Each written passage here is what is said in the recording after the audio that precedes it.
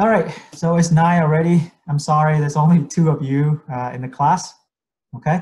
But uh, today is actually a very uh, interesting uh, topic. It's about gallstone. I don't know if you have ever, you know, ever have anyone with uh, gallstone before.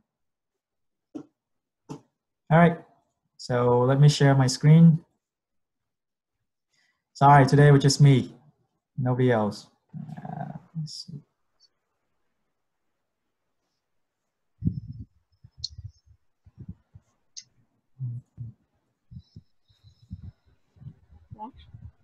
Okay, can you see my screen? Yes. Yes. All right.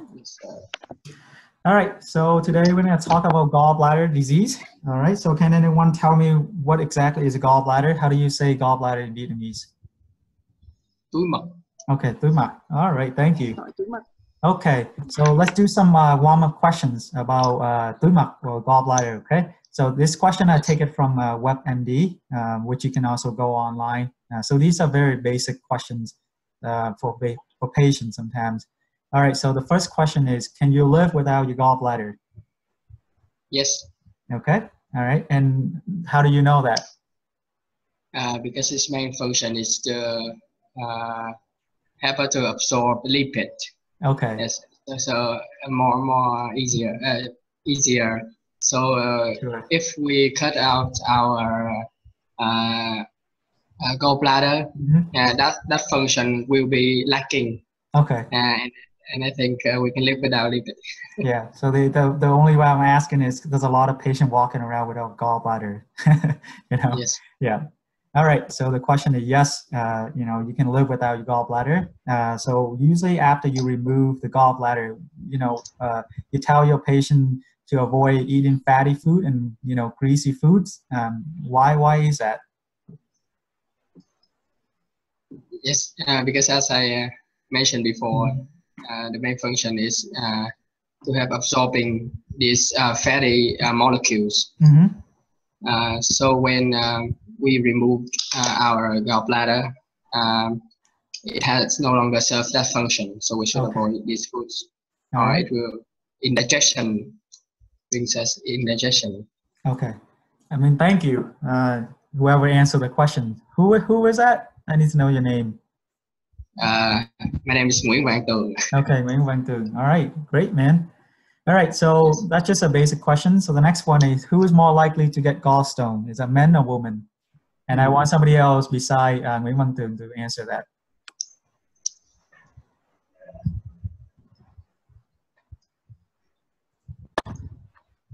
How about you, Dũng? Uh, Dung, you want to give it a try? Well, um, most likely to get gallstone. Yep, Uh, men or uh, yes. Women. Yes. Is that from your experience or do you know why? Uh, my experience and Mhm. uh, in book. what, what, what does it say in the books? yeah, the fat women. Uh, something. Uh, Okay. yes. Yeah. So usually women have more fat um, than men, uh, but you know there's some men that also have the obese also. But the main reason why is that women have uh, cholesterol, uh, more cholesterol due to uh, the hormone called estrogen. So that's why when your patient is, um, you know, on pregnancy like birth control pill, which is estrogen pills, and also uh, if they're pregnant, with they have the surge in the estrogens, uh, then usually they have more cholesterol in their in the blood and end up in the in you know in the um, biliary tract. So that's why they end up having more gallstones. Okay. Yes. All right. So next questions. Uh, so these are very simple questions. So a gallbladder attack usually happen in the morning, in the middle of the day, or at nighttime after a heavy meal.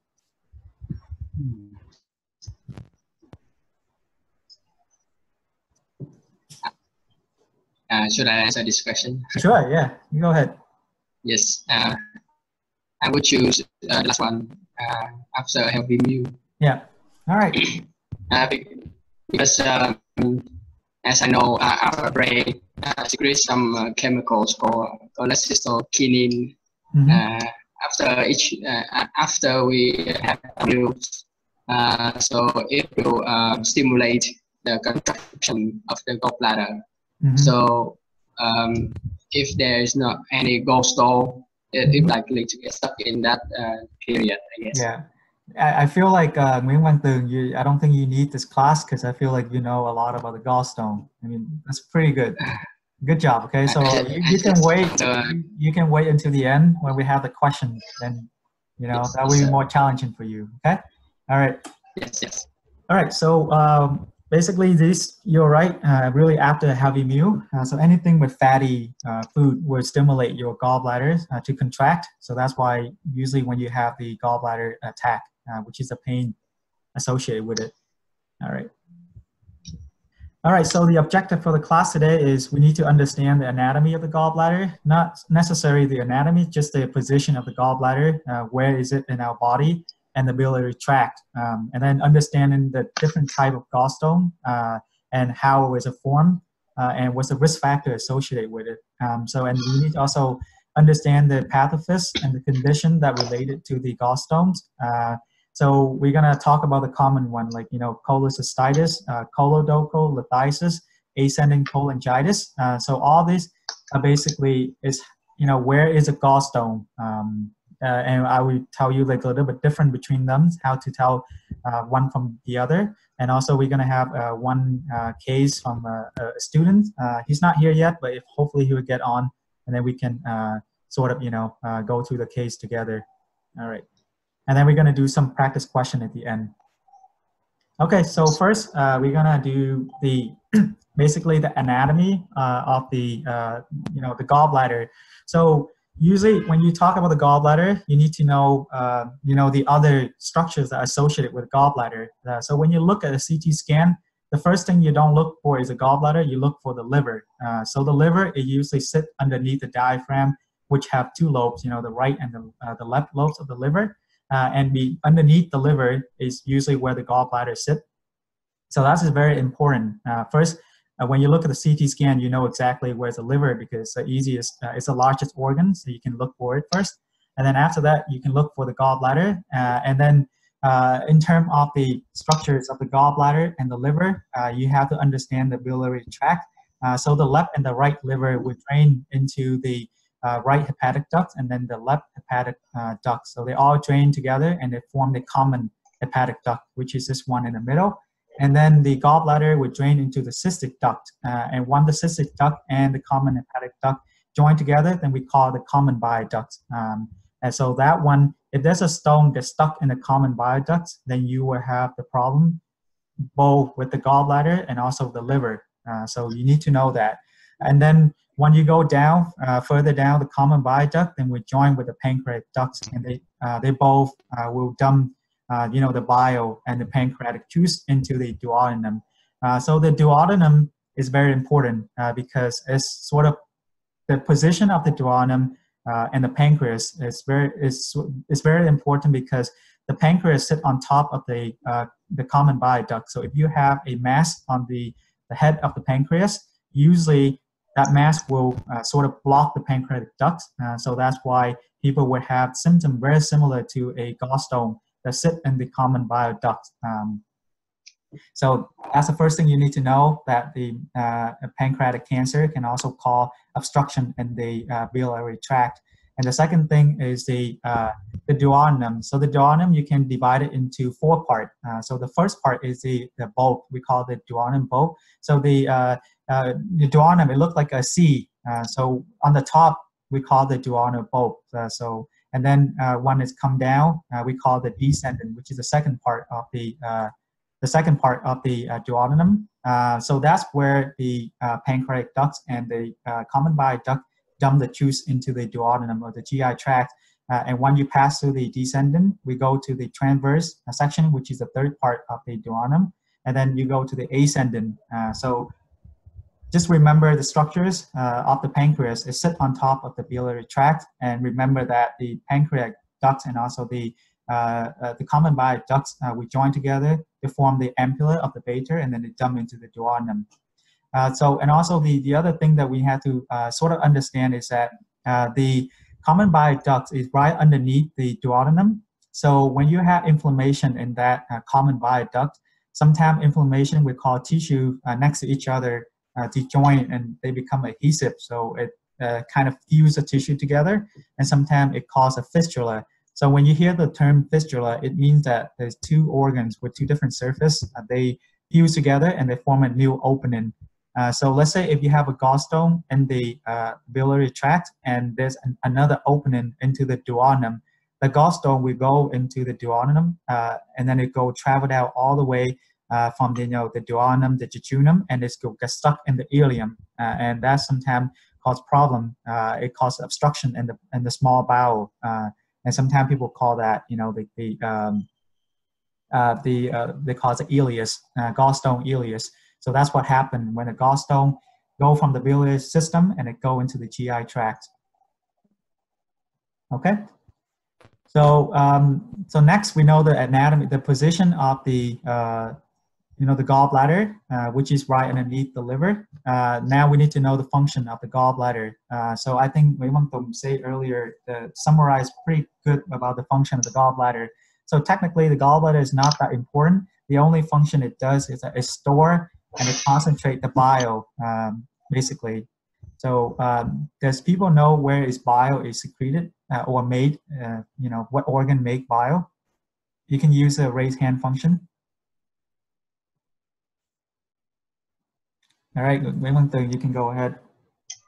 Yes, uh, bile uh, mm -hmm. produced by uh, the liver mm -hmm. uh, in little tiny cells. Uh, I forgot what they call. It's yeah. So uh, liver. So when you talk about liver, it's hepatic.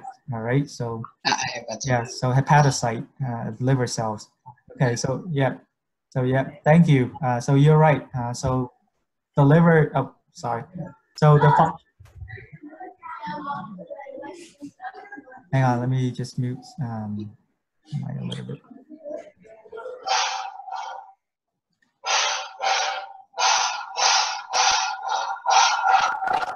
It's uh, sorry, somebody. Okay. All right. So uh, the gallbladder is to store um, and concentrate bile, and bile is usually uh, made from the liver. Uh, so after you eat, um, so uh, the bile will be uh, secreted by the liver and is stored and it uh, sort of stored inside the gallbladder. and then after you eat, using the proteins or fatty acid that introduced into the duodenum, the release of a, of a hormone called the cholecystokinin. When you see chole, uh, that means bile. Uh, so chole means bile. Um, so when you whenever you see the chole, mean that it has something to do with bile. And this the main function for this hormone is to cause the gallbladder to sort of contract. And when it's contract, it will cause the uh, the bile to secrete into the uh, duodenum. Uh, so if whenever you have a gallstone uh, inside a gallbladder, just imagine in your hand you have a bunch of stones, right? And when you squeeze the stone, it, it will cause pain for your hand. So it's the same thing for gallbladder. If you have a bunch of stones sitting in the gallbladders, and then when you eat something, you know, like fatty or a lot of proteins, and then your body secretes the, the hormones, and they cause your gallbladder to contract, uh, that's when you start having pain. All right, let me. Okay. Okay, so the next one is a bile. Uh, so how is bile uh, is made? Uh, so basically the bile is made by hepatocyte. Uh, the bile is actually secreted uh, into the little tiny uh, canals, so we call the canaliculi.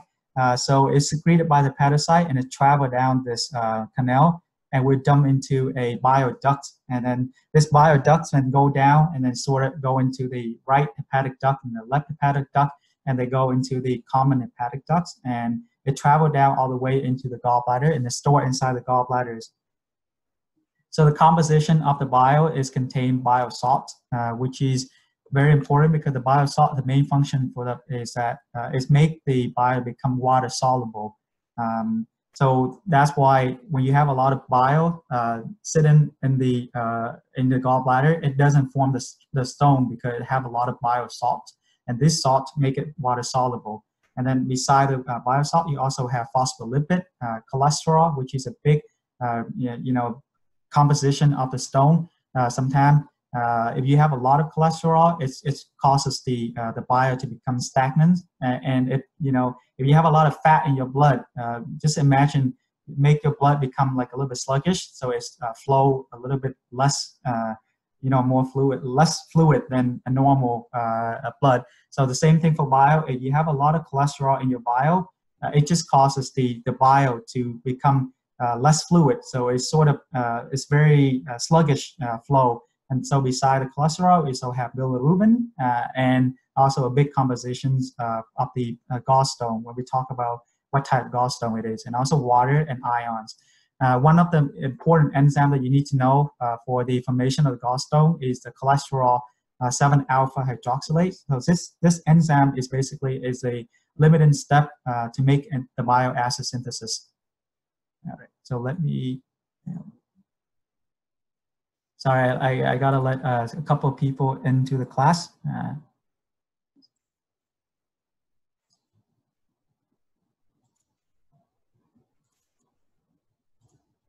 Okay, so uh, the next thing that we're gonna look at is the type of gallstone. Uh, so when people say gallstone, uh, just imagine, you know, uh, in your head uh, the two type of gallstones.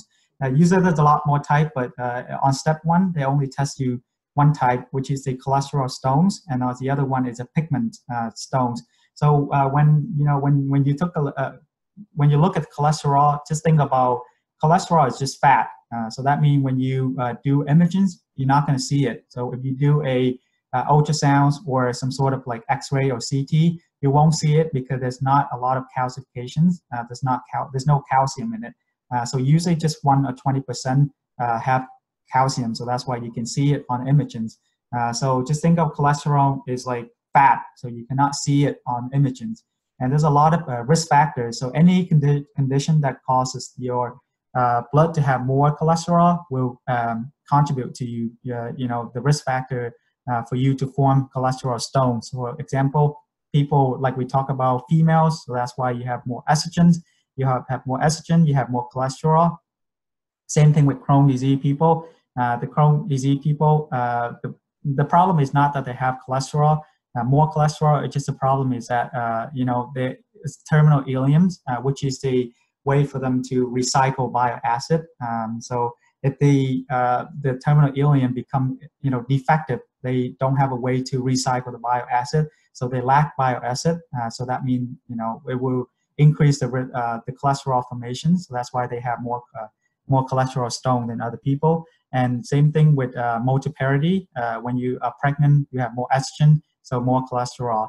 rapid weight loss, Native American heritage. This is more just more like genetic and also advanced age. Um, the only thing I cannot tell you why is advanced age that have more uh, gallstones. Um, that someone can tell me later. And also the other one is the pigment. Uh, so when I tell you pigment, that means that they have a color. So usually uh, pigment can be a black or brownish. Um, so just know that it have colors and also sometimes when on radiograph you can see uh, the pigment stones so if you if they show you uh, you know a question uh, with uh, both you know a stone that they cannot be seen and a stone that can be seen on checks uh, on the radiograph, then think about pigment when you see it, and when think about uh, cholesterol when you don't see the stones. All right. So and the pigment stone, when you think of pigment, think of bilirubin, like I talked about before. When you look at the composition of bile, uh, it have you know cholesterol and bilirubin okay so if you have a lot of cholesterol it become cholesterol stone. If you have a lot of bilirubin, it form the pigment stone. So, uh, you know, bilirubin comes from the breakdown of your uh, red blood cells. So think about a disease that, you know, break down a lot of red blood cells, uh, like chronic uh, red blood cell hemolysis. Uh, you know, biliary infection sometimes can cause the red blood cell to lyse. Uh, so that's why you have pigmented stones and also alcoholic cirrhosis and advanced age. All right. So gallstone. So let's talk about the first uh, type, which is the cholesterol stones. So uh, first, we have to understand, you know, how how is a cholesterol um, sort of contribute to the formation of the uh, the cholesterol stones. Uh, so cholesterol before it gets to the liver, it can be uh, converted to either bile salt or cholesterol uh, in the liver. So let's say if you have you know some function that causes your uh, bile salt to become you know defective so you have more cholesterol with get converted into uh, you know become cholesterol in your liver and that way the more cholesterol you have in your bile it causes your bile to become stagnant and when your your bile flow is you know sort of uh, slow down, then the stone uh, can form. So that's one way for the stone to form. Uh, so by having more cholesterol in your bile. Uh, so when you think about gallstone, think about the imbalance between the bile salt and also the cholesterol. So you can either have a lot of cholesterol or you can have less bile salt. Okay. So same thing about I talked to you before. Pregnancy, uh, you know, uh, you know, oral contraceptive pills. Those condition causes your your uh, hormones, uh, estrogen, to stimulate the uh, cholesterol formation. Kim, mom, mom thấy chắc cái nào? All right. Okay. Uh, sorry. And then you have the progesterone, which is when you're pregnant. Again, uh, you have the surge in you know progesterone and estrogens. Uh, so the progesterone is to cause decrease the bile acid secretion. Uh, again, you know one thing you have is estrogen is increase in cholesterol, and then you have another hormone kind of cut down the bile acid, and now you have a lot more cholesterol, a lot less bile acid, which means that you are at risk for forming the cholesterol, uh, uh, you know, gallstone. All right. And then, um, so now we're going to talk about the clinical pictures of someone with, you know, a gallstone, uh, right? So first thing is the presentation. So someone with uh, a gallstone uh, come in, the first thing that we hear, you will hear the complaint is a right upper quadrant pain. Um, and occasionally it radiates to the right shoulder. Uh, so I want someone to explain to me uh, why you have the right upper quadrant pain and then sometimes it radiates to the right shoulder. Why is the right shoulder? Anyone know why? Uh, Go ahead. Anyone to? uh, I'm not sure, but uh, as I can uh, recall, Mhm. uh, it has something to do with uh, the, the path of uh, uh, neurons. Uh, it has something to do with the tense, uh, the vagal nerves. If I'm Mhm. right. Uh, it it uh, travel uh, in our body to multiple organs. Uh, so it has uh, uh, some association between the gallbladder and I don't know uh, uh, a branch of uh, of nerves travel to the right shoulder. I guess. I mean, I, I, you know, good effort, uh, close, but uh, it's not exactly the reason why. Uh, anyone else Yes. have any reason why? Any idea?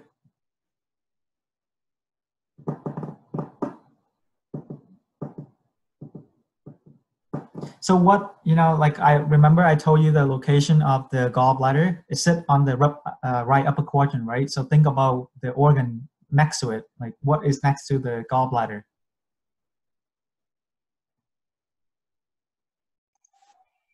The liver. Okay, you have the liver, and what else? Yom, you wanna you you wanna? No. okay, uh, don't be afraid. Okay, so let's just walk through. Okay, so on top of the liver, what's on top of the liver? The diaphragm. Okay, the diaphragm. Okay, so which nerve innervates the diaphragm? Anyone can tell me. The vagal nerve. No. No. Okay, Ngọc Anh, go ahead. Okay, I, I remember that is Yeah. the the the, t- the t- tenth nerve. Um, I don't know. Um, The, the diaphragm. yes. okay. No, no, not not the Okay. diaphragm, but Yeah. um, What's I I don't don't remember remember the exactly the name. where's that? Said there is a mnemonic to remember the diaphragm uh, nerve.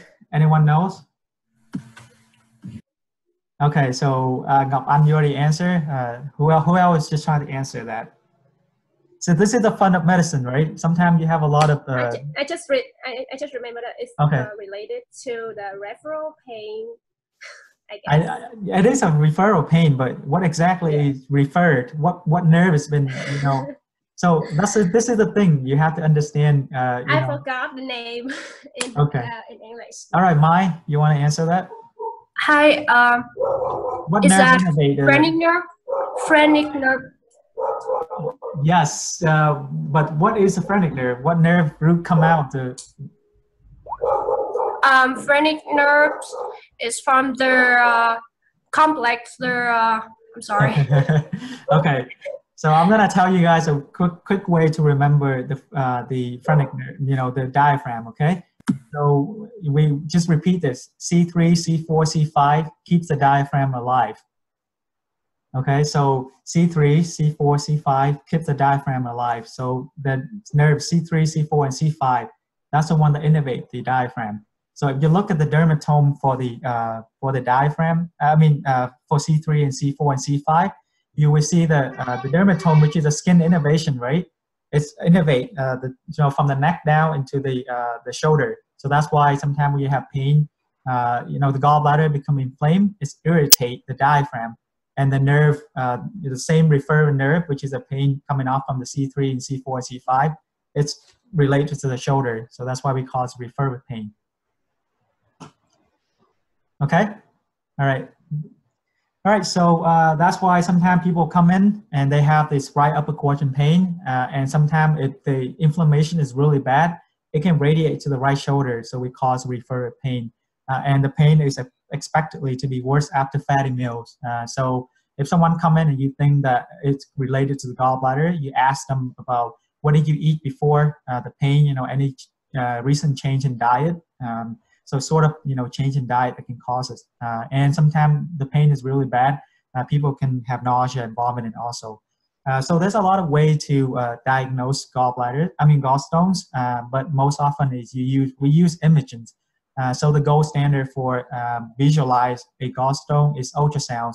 Not only you can do it, you know, a bedside ultrasound, it also is cheap and it doesn't have any side effects to the patient uh, even if you do like a radiography, like a uh, you know a X-ray or a CT scan, you expose patient to a small amount of radiation, uh, so it's not that good.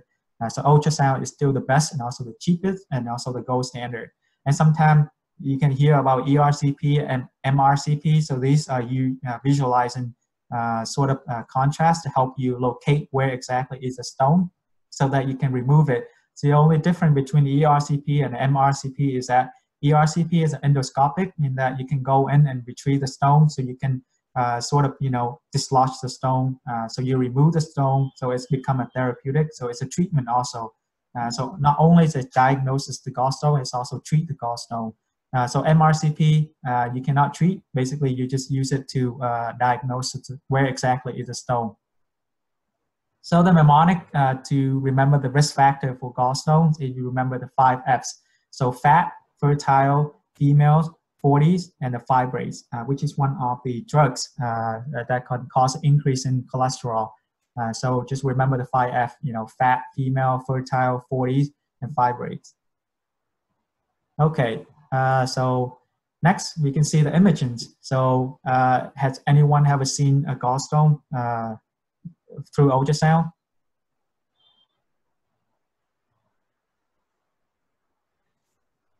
Yes.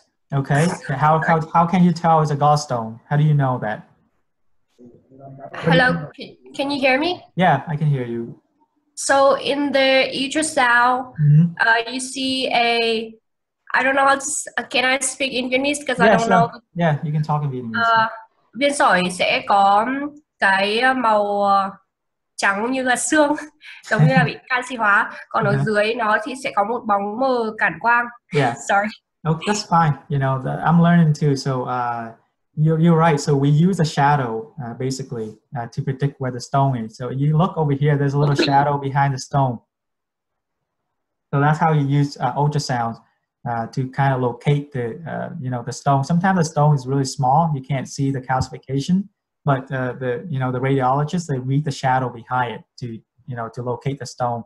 And then you can also sometimes see it on abdominal CT. So usually people don't use abdominal CT to uh, you diagnose a stone, but most most most of these are kind of like incidental. You know, somebody order abdominal CT and they just you know saw like see the stone uh, on the CT. Um, so you see that little white thing uh, inside the gallbladder. Right? Remember I told you the so you have to locate the liver on the abdominal CT, which is the this thing over here, and next to it is a gallbladder, and then you see that white thing uh, right you know at the neck of the gallbladder that's a that's a stone. So anything that calcify, uh, have calciums uh, on abdominal CT, it'll become uh, white. So beside the stone, you can also see the aorta. You see that calcification around the aorta. So that person probably has some, uh, you know, aortic uh, disease. And then uh, you can also do MRCP, uh, same using the contrast. So basically you see if there's a uh, stone that gets stuck in the biliary tract, then you don't see uh, any sort of contrast in that region. so on the one on the right over here, you can see the stone in the bile ducts is mostly in the distal common bile duct. So you see over here, the contract is stopped and you don't see the connection to the outside. All right. Okay, so uh, so now the complication of gallstone. So why do we care about gallstone, right? So if there's a gallstone and it form and it just sit in the gallbladders, yeah, you know, it hurts when your gallbladder contract, but it really doesn't do anything. Uh, so sometimes people would come in uh, and they have this uh, right upper quadrant pain, but they can deal with it. You know, sometimes it just hurt for, uh, you know, 15, 10 minutes and then, you know, it goes away, but nobody really cares. Uh, but when it, that stone gets stuck somewhere else, then that become uh, problems. Okay, let's see someone have, uh, Mai, did you raise your hand? You have a question?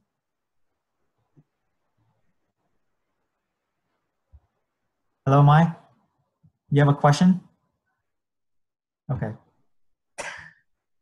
Oh no, I'm sorry. I just don't know how to use this thing. Okay, so that's I mean it's raise it's raise your hands. I mean that if you have a question, you raise your hand, and you know like I know that you have a question. Okay. All right. So the complication is cholelithiasis. So when you see the cola, the chole is basically is bile. Lithiasis in English it means stone. All right. So it's a bile stone. So you know it made out a stone made out of bile It's a gallstone. Uh, so and then the second thing is acute cholecystitis, and then choledocholithiasis. Uh, so when you see chole, that's bile. Uh, doco is a common bile duct, and lithiasis, which is stone. So you can say it. Choledocholithiasis means that it's a stone that made out of bile that stuck that gets stuck in the common bile duct. Okay, so choledoco means that it stuck. It got stuck in the common bile duct. And then we have the acute cholangitis. Um, acute cholecystitis means that it's just inflammation of the gallbladder. All right, and then we have gallstone ileus, like I told you before, when the stone gets stuck in the ileum, uh, terminal part of the ileums, and then we have the gallstone pancreatitis, basically is a pancreatitis caused by the gallstone. And then porcelain gallbladder, which is one of the rare complications, uh, but usually uh, they will test you because there's only one way to treat it, um, and we'll talk about it later. All right, so let's talk about the first thing, which is cholelithiasis, basic gall, gallstone, uh, just sit in the in the gallbladder. Nothing happened. So the stone form in the gallbladder, and like I say, if you put a bunch of stone in your hands and you crush your hands, your hands will hurt. So same thing with the gallbladder. A bunch of stone gets stuck in there, and they just hurt when you know when you eat something fatty. It causes your gallbladder to contract, and then you have the colicky pain. So when you hear the word colicky, mean that it comes and go. Uh, so people repeatedly have multiple episodes. Uh, so if someone have gallstone come in and you ask them, oh, have you had this pain in the past? And if they say have yes, that means that, you know, uh, most likely they have a gallstone that form uh, and they continue to have gallstone form in the gallbladders. So how do you diagnose this? I told you before, right upper quadrant ultrasounds uh, if preferred. Uh, sometimes people see it on abdominal CT. Uh, if the abdo- if the right upper, uh, upper quadrant sound is usually doesn't show anything, uh, then you can do the CT or you do the HIDA scan uh, if the ultrasound is not helpful. So the HIDA scan is the same. It's kind of like the MRCP. Uh, it's sort of, you know, uh, to see the spread of the contrast. Um, and then if the treatment is elective uh, cholecystectomy, so when you see the words elective, it means that you don't have to do it. It's sort of like you can do it if you want to. It's recommended. and cholecystectomy, so which means that the remove of the gallbladder, uh, the gallbladder. Uh, so sometimes if you have the gallstone, the best thing is to remove the gallbladders. Okay, so the cholecystitis. Uh, so it, again, cholecystitis means it's an inflammation of the gallbladders. So if you have a bunch of stone and your gallbladder keep contracting, and sometimes one of those stone will get dislodged and it gets stuck uh, in the cystic duct. Uh, so that's why it's coming from. So cholecystitis, so inflammation of the cystic duct uh, and the gallbladders. Uh, so uh, so the pain is no longer col- colicky because your gallbladder is inflamed now. So you will have constant pain in the right upper quadrant pain.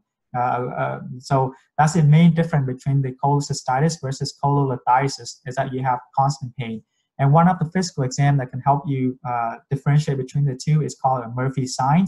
Uh, and you know, any inflammation would cause you to have a little bit of fever uh, because of the cytokines of release, and also a little bit elevated of the white blood cells. Uh, and you diagnose the same way, the right upper quadrant cells, and then you see a you know a stone in the cystic duct, and you do a HIDA scan, and you see that you know the uh, the um, the contract gets stuck in the gallbladder, it doesn't go out into the biliary tract. Uh, and the treatment for this one is no longer elective. If you have a stone get stuck in the cystic duct, you have to remove the gallbladders. Okay, so uh, uh, can anyone tell me what is a Murphy sign?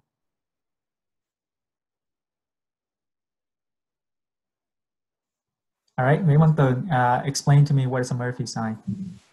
Yes, uh, a Murphy sign is uh, a physical examination Mhm. that uh, uh, you put your hand firmly under the upper right quadrant, Okay. uh, just below the the the, uh, the, the, the the position of the liver, Mhm. and then um, uh, you ask the patient to exhale first, Okay. uh, and you you press your hand uh, a little bit deep uh, deeper into their abdominal cavity, and then uh, they, you ask them to inhale, Mhm. and as they inhale, the liver, uh, the diaphragm moves uh, moves down as Mhm. well as the, the, the liver and Yeah. um, the, the gallbladder. So if uh, the gallbladder is inflamed or it is um, uh, irritated, uh, it will cause uh, the pain when it came into contact with uh, your hand, Okay. and the patient will likely to uh, feel really painful when they inhale. Uh, so I think that's the Murphy sign. Okay, exactly. Uh, thank you. Uh, that's a very detailed explanations, and I think you're right. Uh, same thing. So I'm gonna just repeat it again. So you ask a patient to basically exhale. Uh, so when you exhale, what happens to the diaphragm, right? The diaphragm sort of like it's sort of like go up. So that's why I pull the uh, the gallbladder up. Uh, so you put your hand underneath, and you tell the patient to like in, inspire. When you inspire, your lung expands, so you push the diaphragm down. So if your gallbladder is inflamed, it will hit you know, the tip of your finger, and the patient will like jump or stop, uh, you know, uh, stop inspiring. So that's when you know that uh, they have an inflamed gallbladder. But sometimes, you know, when they have the gallbladders inflamed there, is when you put your finger there, they already jumped sometimes. But that is a more a sensitive sign. It's a Murphy sign. Okay, so what happened when the gallstone no longer stuck in the cystic duct? You know, it's traveled further down, uh, so it gets stuck in the common bile duct. Now you have the problem called the choledocholithiasis. Uh, so just remember, just when you think about gallstone, you just remember, you know, where is a gallstone basically? So if the gallstone gets stuck in a common bile duct, that means that no longer it affect your gallbladder, but it also affect your liver. And your liver, you know, it does a lot of functions, right? Not only it secrete the bile, but it also have uh, secrete the bilirubin. Uh, so if you got a stone get stuck there, um, you know, uh, you will have bilirubin elevated through the roof. So your patient will have jaundice, they have yellow skin, uh, and when you do the Murphy sign, the gallbladder is still inflamed, so it's still, you know, uh, you still have the positive Murphy sign. Again, you have fever and leukocytosis. That's just because of the uh, general inflammation in that area. Um, but when you do, uh, you know, the, the liver function test, you will see elevated LFTs, uh, and then you, you know, the, the all the signs that show that there's a obstructed, uh, obstructed uh, bile flow. Uh, so that's the only difference between the uh, cholecystitis versus choledocholithiasis. That is a uh, involvement of the liver. So, colo, you know, cholecystitis only affect the gallbladder. Choledocholithiasis affect the gallbladder and the liver. Okay. Uh, so diagnosis the same way you do the right upper quadrant ultrasounds, uh, but the treatment is different now. You have to, you know, you know, get the patient in and get an ERCP. So you want to make sure that the god the, the stone is there so that you can remove it. Uh, so remember the ERCP is both diagnosis and also uh, treatment. So when they see a stone there, you know, they just uh, sort of remove the stone to release the, the bile flow. All right. Okay, so um, next thing is a, I think, oh, I think there's a mistake on this one. So like I like I say, the choledocholithiasis, uh, So when you have, so this one is actually ascending cholangitis. I'm sorry, I didn't change the uh, um, the title. So basically, when you have a stone get stuck in the common bile duct, uh, what it does is that you know it create uh, you know a, a ground for bacteria to grow. And when there's a bacteria to grow there, it can cause infections. And now things getting more serious. Uh, so the only difference between the one, uh, the choledocholitis and ascending cholangitis, now you have infections. And when you have infection, what do you get? You know, so uh, we think about the uh, triads. Uh, so the right upper quadrant pain, jaundice, and fever. Uh, so just remember that triad. So you see someone come in with the right upper quadrant pain, yellow yellow skin, and also fever. Then you think about infection that gets stuck uh, by a stone that gets stuck in a common bile duct. So you think about choledocholitis, uh, ascending cholangitis. And you know, if someone have infection, it becomes sepsis, sepsis, right? So sepsis usually have hypertension, alto mental status. So if you add the two sign of symptoms into the triad, uh, we call the Reynolds' pentad. Uh, so those are the signs of symptoms. So if someone come in with a really uh, looking really sick, like then you think about ascending cholangitis. Same thing, you do the right upper quadrant cell, but uh, this one is an emergent ERCP. You cannot wait. You have to push the patient into the operating room and do the ERCP to remove the stone immediately. Uh, otherwise, the infection will keep spreading. So what's the difference between this one and the last one? Just remember this one have infection. So yeah, remember the infections, yeah, you have hypertension, altered mental status because the patient becomes sepsis, and also you have jaundice and fever. Uh, all right, so the next uh, complication that a lot of, not a lot of people pay attention to, but it's, sometimes it's testis, is gallstone ileus and gallstone pancreatitis and the porcelain gallbladder. So let's uh, go through the gallstone ileus. So again, uh, remember the structures of the gallbladder and the biliary tract. So the biliary tract uh, is sit very close to the duodenum. So if the stone gets stuck in the common bile duct and you know the biliary tract become inflamed, it can cause a fistula between the gallbladder and the GI tract. Uh, so you know the stone can get passed through the uh, biliary tract and it go into the GI system. And like I say, there's a fistula between the two uh, then the air inside the GI tract can go back into the uh, into the gallbladder. So that's why you have this, uh, you know, um, uh, air inside the biliary tree. Sometimes we call it pneumobilia. So pneumo means uh, air, and bilia is a biliary tract. so that's a very common side effects of gallstone ileus. So the gallstone, we go all the way from the duodenum, uh, go to the jejunum, and go to the ileum. Uh, so when the ileum, it gets stuck in the ileocecal valve, and it causes gallstone ileus. Uh, again, we can confirm it by abdominal CT. Uh, so as you can see that if the uh, stone gets stuck in the small, uh, small bowel, it causes small bowel obstruction. So everything proximal to it, so you know, all this, the bowel before it becomes distended. And sometimes you can see pneumobilia, so uh, you know air inside the biliary tract, and the obstructing stone. It's hard to see, but sometimes you can see it. So you look at the axial scan on the right, uh, you can see the stone right there at the ileus, uh, at the ileum. Um, so that's why you have gallstone ileus, and the only way to treat it is you have to remove the stone and also get rid of the gallbladders.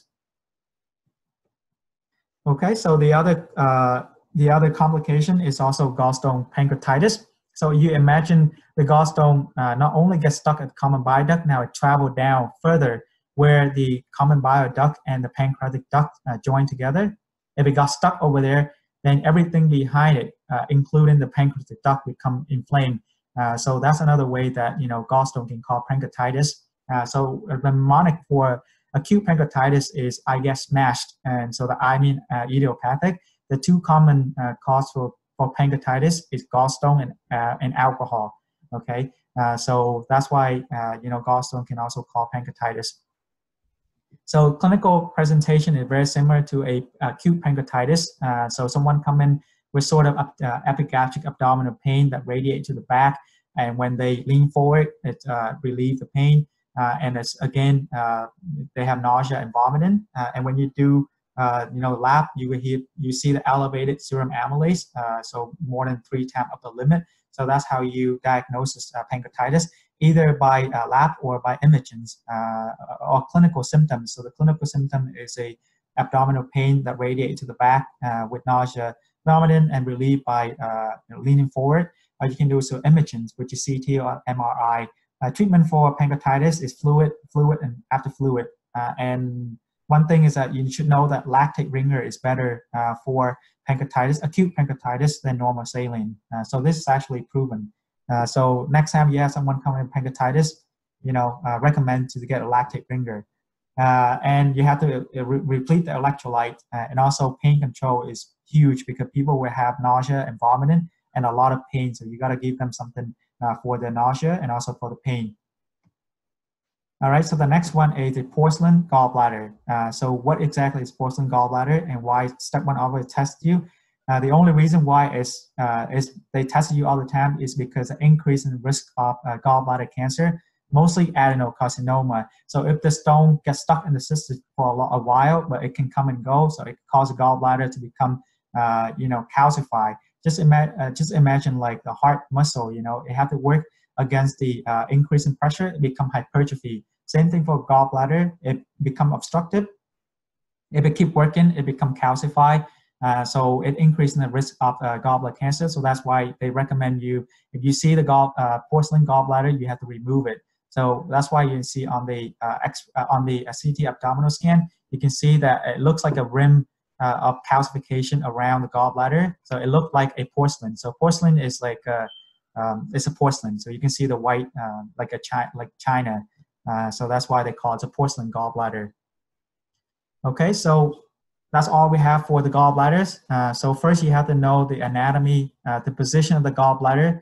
Remember the relationship of the gallbladder to the liver, uh, you know, the diaphragm, you know, and also the pancreas and the GI tract. Remember how the biliary tract is sitting on top, uh, is very close to the to the duodenum and also the pancreas. So you have a uh, cancer or a mass on the pancreas can also obstruct the biliary tract, okay? And then you remember the formation and the type of gallstone. So remember gallstone is, uh, is balancing between cholesterol, uh, bilirubin, and also bile salt. So increase in cholesterol is bad. Uh, increase in pigments, or any increase in uh, bilirubin, like, you know, uh, uh, red blood cell hemolysis, uh, anything that increase pigments will increase the risk of forming the stone. Anything that causes decrease in bile salt uh, will also cause the formation of stone. Uh, and also understand the, uh, the, complication of a gallstone. So remember, where is a stone? Okay, so if the stone just sit in the gallbladder, then you think about colo, uh, cholelithiasis. If it gets stuck in the cystic duct, then you think about cholecystitis. Uh, so it's inflammation of the gallbladder and the cystic duct if the stone travel all the way down into the uh, common bile duct, then you have choledocholithiasis, which is a uh, you know obstruction uh, obstruction of the common bile duct. And then if that become infected, uh, then you have ascending cholangitis. Okay, so if you have a um, uh, you know a fistula between the biliary tract uh, tract and also the GI tract, then you think about gallstone ileus. basically, the stone is in it gets stuck in the GI system now. It's no longer gets stuck in the uh, biliary tract. Now it involves the, the, GI system. And again, if that stone gets stuck in the, uh, you know, the uh, place where the uh, common bile duct and also the pancreatic duct join together, then you think about the pancreatite, uh, the pancreas uh, become inflamed. Now you have pancreatitis. And then we have the porcelain gallbladder. If you see on the CT, you have a thick uh, gallbladder, think about porcelain uh, gallbladder that you have to remove it right away. So this is a summary of the four common uh, conditions that involve with the uh, gallstone. Okay, so cholelithiasis. Uh, when you you know the clinical symptom is a colicky pain, right? So it come and go. Uh, patient eat, you know they have pain. After that, it's okay. It's gone. Okay, so you treat it. Uh, you everything will be viewed on the uh, right upper quadrant ultrasounds. Uh, the treatment is you just re, you know elective uh, cholecystectomy, mean that you uh, patient can remove it whenever they want to. So it's not an emergency. Uh, it's sort of like, you know, uh, you can recommend a patient to get the gallbladder removed.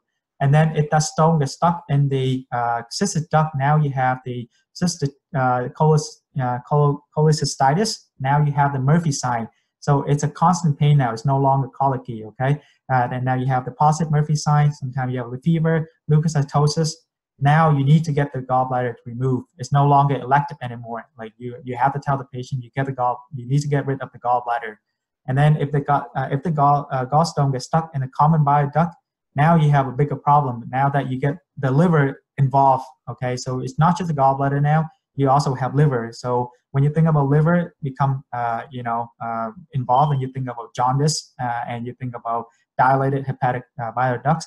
And at this point, you need to remove the uh, gallbladder. So you need to do a ER, uh, remove the, the stone. So you have to do the ERCP immediately. Same thing, cholangitis. The only different now that you have infections. So when you have an infection, think about a sepsis. So you have hypotension, you have uh, status. So that become a uh, Reynolds pentad. And then remember the triad, uh, right upper quadrant uh, pain, fever, and jaundice. Uh, and then this one, you have to remove the stone immediately uh, because some people, patient can die from this. Okay, so management with the gallstones, sometimes you have gallstone without any symptoms, you know, usually no treatments. You can tell the patient you can get the gallbladder removed sometime, but it doesn't have to be anytime soon. So it's based on the patient. But if you have a gallstone with typical biliary colic symptoms, uh, same thing, you recommend the patient to remove the gallstone whenever they want. Uh, sometimes you can give a, a drug called ursodeoxycholic acid.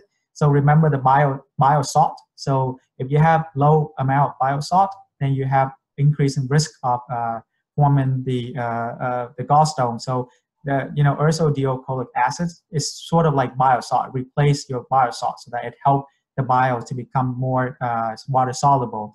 Um, so that's how it works. And also, when you have a complicated gallstone disease, for example, you have acute cholecystitis, choledocholitis, and gallstone pancreatitis, then you need to get the uh, cholecystectomy. You need to remove the gallbladder within uh, 72 hours. So this is mainly for step two. Um, uh, they're not going to test you on step one uh, for now. Okay, so uh, that's all we have for the gallstones. Anyone have any question for now?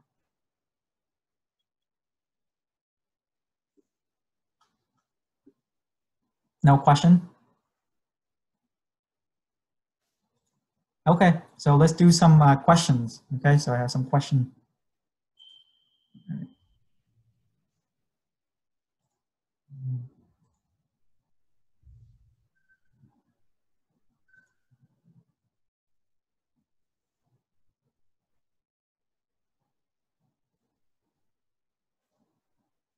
Okay.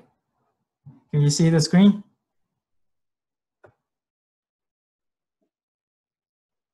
All right, so let's do uh, question number one. So let's say you have a 73 years old obese woman present to the emergency department with three days of progressive abdominal pain with recent bilious vomiting. So imaging review multiple air fluid level in the small intestine and air in the biliary tree. Which of the following is the, the most likely diagnosis? Is a colon cancer, gallstone ileus, gangrenous uh, cholecystitis, gastroenteritis, and volvulus? Um, I guess the answer is B. Okay, and can you explain? Um, so uh, imaging reveal multiple air fluid mm-hmm. levels. Yeah. Okay, first um, of all, and also, yeah, tell me what the patient has first. Um, I think the diagnosis is gallstone um, ileus. Okay. Um, it due to a condition that the patient have uh, like some kind of chronic um, inflammation of the, the, the okay. gallbladder mm-hmm. and that um, it forms a it forms a so, like connection from the okay. the um, ileum and the gallbladder okay so and the ear in the uh, the, the the biliary biliary tree is uh, okay. like the key factor where is the stone now? Remember I uh, tell you yeah. in, in the ileus, ileum. Okay. okay. All right. Uh, anyone else want to give another try? I mean, Dom is correct, uh, but I just want you know to give somebody else a chance to answer.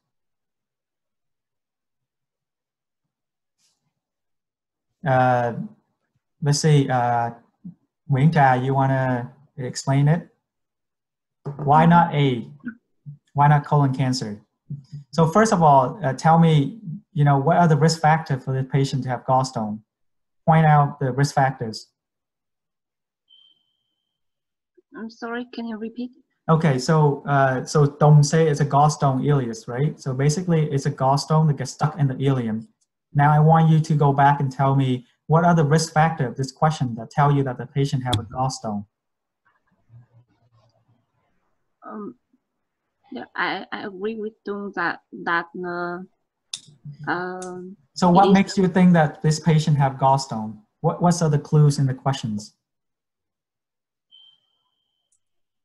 um, Do you remember the uh, risk factor for gallstone, the five F?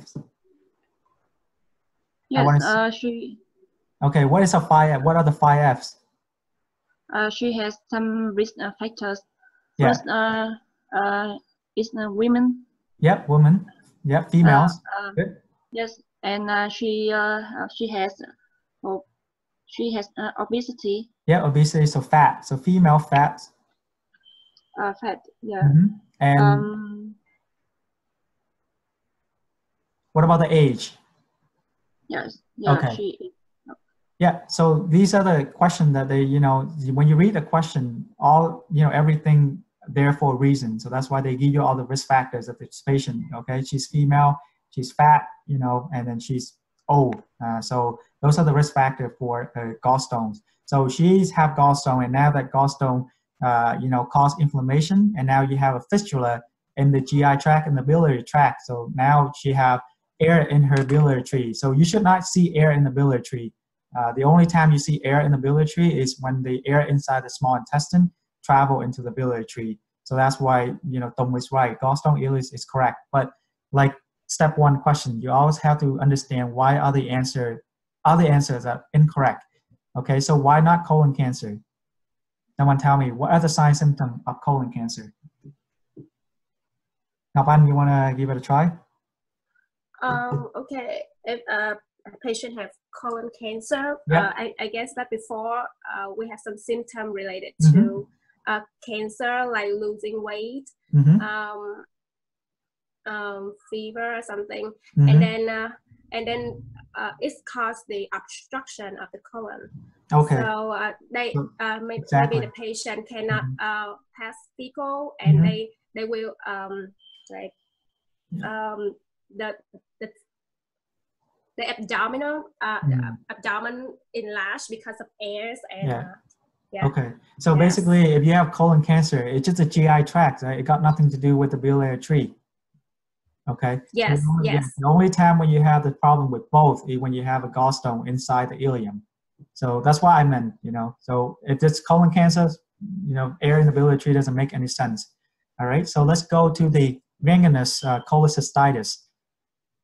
So let's let's think about cholecystitis. What is cholecystitis?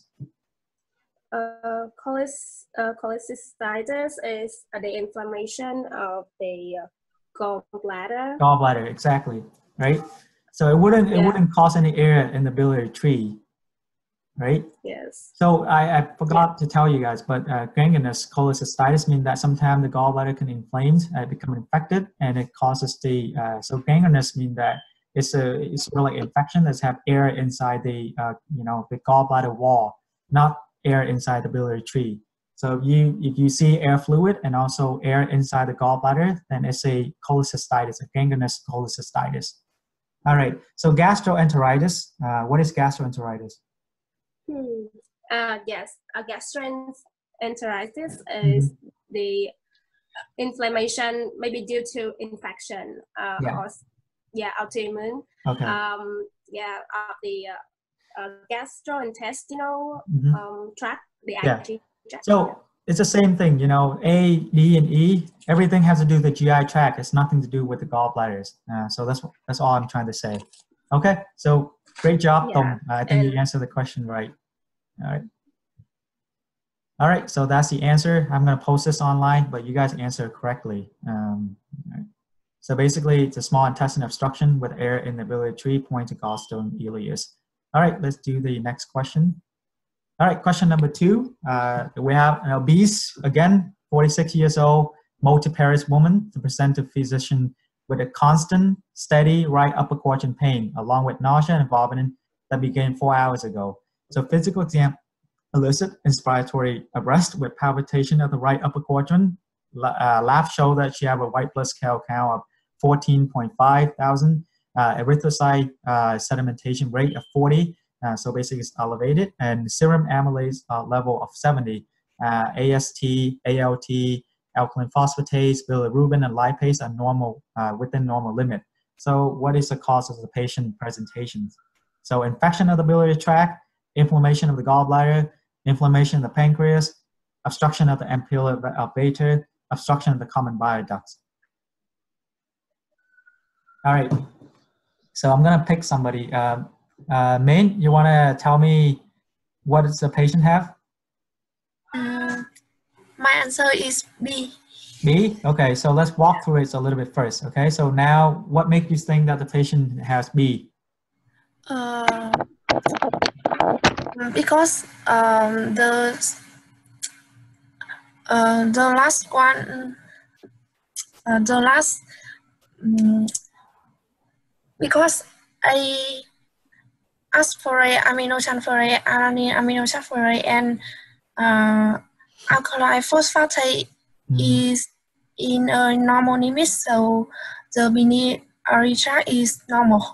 Okay, so the biliary tract is normal. Because Uh, as I know alkali phosphatase Mhm. oh, um, will be elevated in the uh, situation the biliary tract is infected.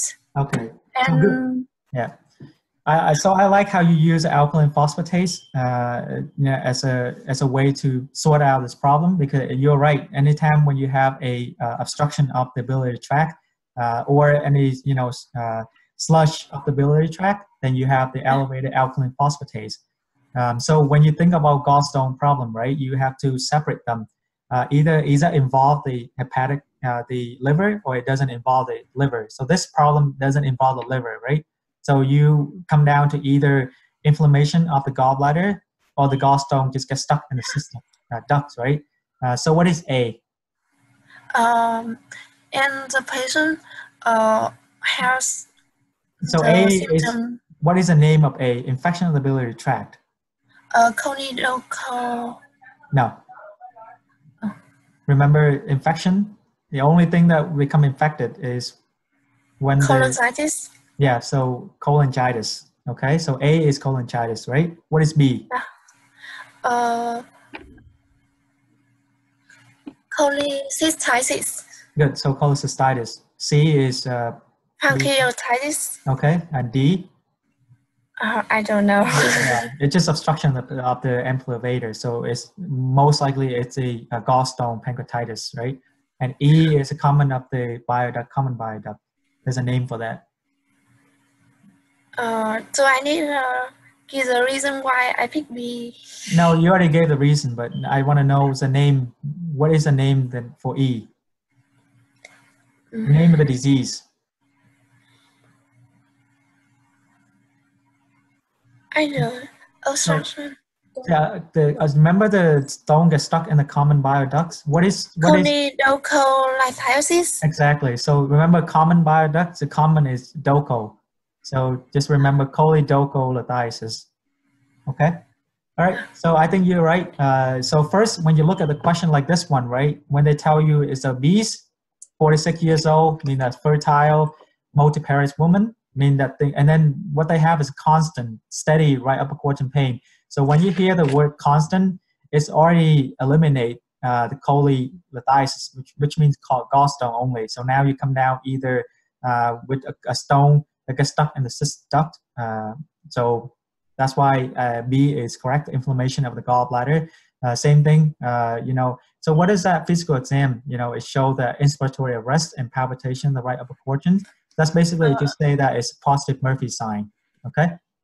So that's why I, I, I like the idea that you use alkaline phosphatase to help you. Okay. So you have normal alkaline phosphatase mean that there's no liver involvement. So now you just think about the stone either gets stuck in the cyst duct or it just gets stuck in the gallbladder. Okay. All right. So you're right. I like that. All right. So number three. Um, so we have a 40 years old obese uh, woman dining at a restaurant and suddenly experience the right upper quadrant pain.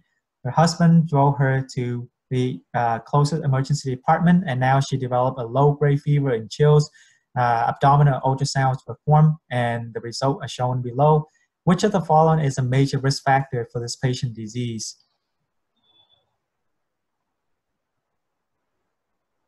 All right. So can anyone tell me what does the patient has first? What is the uh, ultrasound show you? Um, the ultrasound seem to be have stone in the gallbladder. hmm Okay. So, so the risk Where's factor yeah? Where's the stone? uh, is like here. You Okay. see that No, I don't see it. But uh, what is the white thing? Uh, what is the white thing over there? is is a like a calcium. Yeah. um, Okay. All right. It's a family of gallstones. Mhm. Sorry, let me just mute somebody. Okay, uh, so the patient have gallstone. All right, so what are the major risk factor for gallstone? Uh, Tom, you want to answer that too, since you already started? Uh, I'm not so sure about this question. Um, So what? use. Uh, okay, so let me give you a tips of tobacco use. Uh, whenever you hear the tobacco use, it usually means cancer. Man, Step one.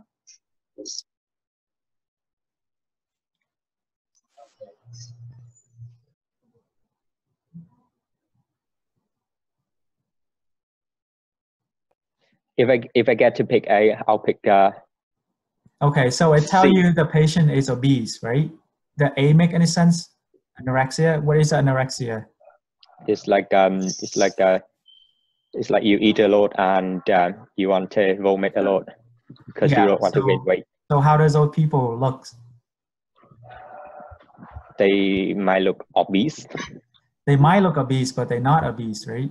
Yeah. Yeah. And what about the age? Does that tell you that the age tell you anything? And why would she be dying in a restaurant, right? Yeah, the age doesn't make any sense because those those usually in teenagers. Okay. What about lack of dietary fibers? What condition that you think might be associated with lack of dietary fibers? Colon cancer. Okay. What else? Not not much of colon cancer, but what you think of old person come in and you know he hasn't eaten any uh, dietary fibers. What is usually Consti- constipation. yeah constipation and what what's the problem when you have chronic constipation? Think. What happened when you have constant pressure, you know, press it on the, the colon? It form a pouch, right? What do you call a pouch in the colons? Like a pouching of the colon? Polyp. Polyps and what else? Um, uh, um, Remember uh, left left lower quadrant pain in old person? it's a it's a begin with a D. Yeah, yeah, yeah, exactly. It's diverticulitis, Yeah. diverticulosis. Okay. Yeah. What do you, how do you call diverticulosis in Vietnamese? Um, I don't know. Anyone knows? Anyone know? Oh, okay. What was that? I'm sorry. Túi thừa. Túi thừa, okay. All right. So it's probably not that, right? Okay. So what about C, multiparity? This is very likely because Yeah. that relate to high cholesterol Yeah. level in From- many From what? From years. what? Yeah. What what So that- hormone? Excuse me. What hormones? Uh, what hormones Um, causes the high um, cholesterol female? Um, um, uh, uh, estrogen. Yep, estrogens, right? So that's what we talk about. So uh, remember the 5F? So female, fertile, right?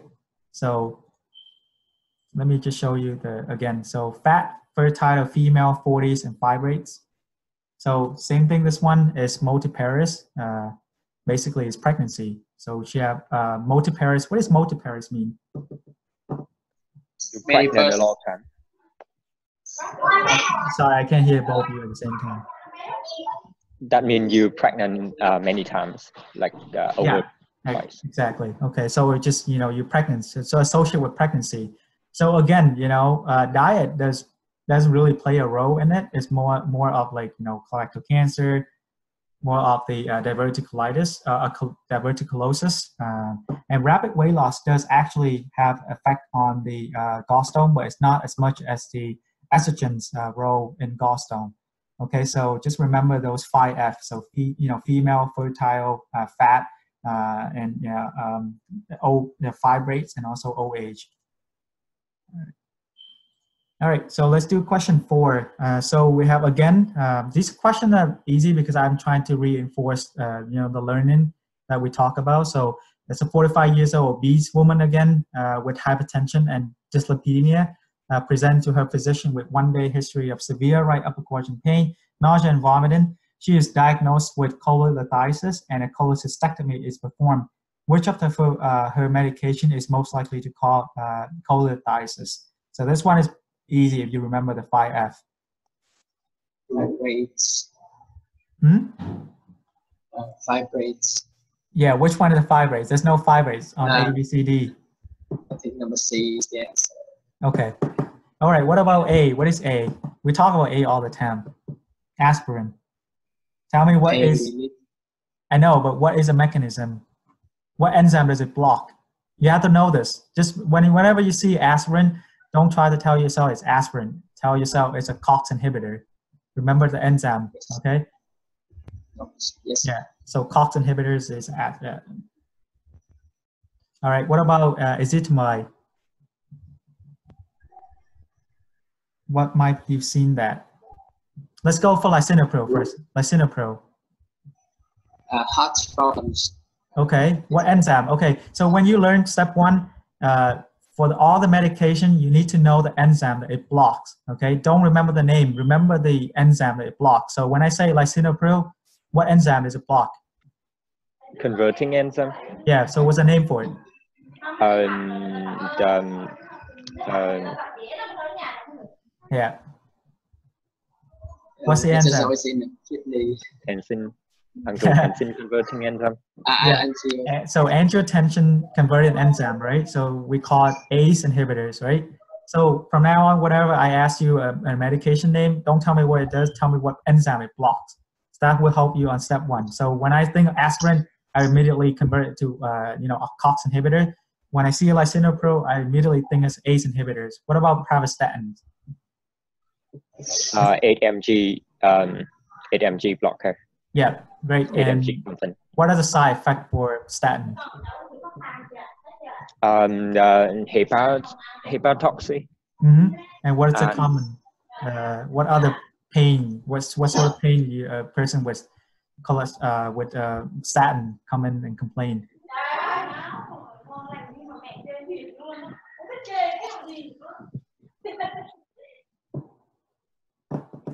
Muscle aches, right? Okay. Yeah, muscle. Yeah, so muscle aches, uh, and do you, do you know why people have muscle aches uh, when they started on, you know, simvastatin? It's a little bit more to advanced, but it just helps uh, a little bit. à, nó, nó hủy cơ ấy, với cái ngành You can speak in Vietnamese, it's fine. Tell me why. nó hủy cơ But how? I'm not sure okay, so I want you to go home and look up uh, and coenzyme Q. So sometimes people give uh, coenzyme Q also when people on pravastatins. So basically, when you put someone on statin, they deplete the coenzyme Q. So coenzyme Q is uh, needed for generation of energy for muscle cell. So if they lack of the coenzyme Q, uh, it causes the muscle to become weak. Uh, so that's why sometimes people give coenzyme Q to help patient with uh, muscle ache with uh, you know statins medications. Okay. All right. Uh, so you're right. You know, um, gemfibrozil is also another uh, fibrate. So it's another name for fibrate. Uh, so fibrate causes the hypertriglyceridemia. Uh, it's help with patient with high uh, triglyceride. Uh, but the side effect is uh, it increases the cholesterol. And uh, again, increased cholesterol mean that it you know you have more chance of forming the cholesterol gallstone. So that's what that patient has. Is she have a you know a gallstone. All right, all right. So uh, thank you everyone uh, for coming. I think. Uh,